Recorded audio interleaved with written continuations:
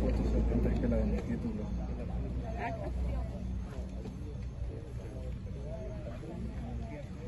Otro por los pendejos que agarramos.